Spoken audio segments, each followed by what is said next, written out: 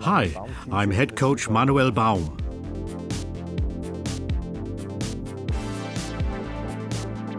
Today we'll talk about formations and systems.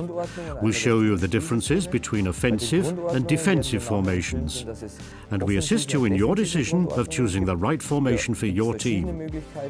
There's the 4-4-2 flat, the 4-4-2 diamond, the 3-5-2, the 4-1-4-1 or the 4-2-3-1. In contrast to the term formation, the term system is used in football when teams start to shift on defence as well as on offence once the ball is played either to the right side or the left side of the pitch.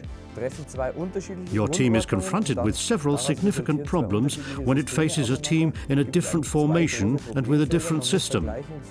A different formation automatically results in certain numerical disadvantages, which consequently lead to open spaces on the pitch.